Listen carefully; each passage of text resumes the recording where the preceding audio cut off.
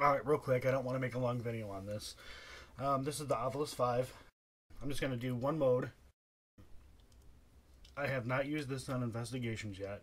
Um, I have an investigation coming up at Waverly Hills, I believe uh, the 14th or the 15th of May. I'll have to look and see.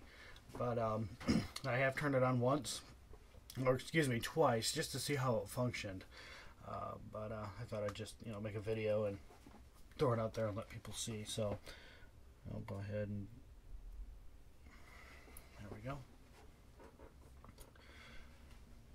So I was told ahead of time that when you first turn it on and get it going, that it can be very random, and just to let it sit and um, wait a while until it stops.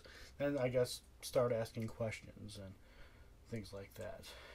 I am definitely very skeptical of this. I don't know how it works. The theory is, you know, spirits can manipulate things and they can use this device, um, manipulate this device to, else. okay, to say words. So, but I'm I'm very skeptical of it. But if it helps, and if there's a chance, you know, I'll I'll use it. Um, but I just you know take it with a grain of salt.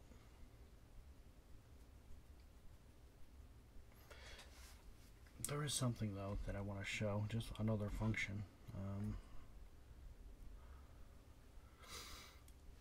no, that's not it.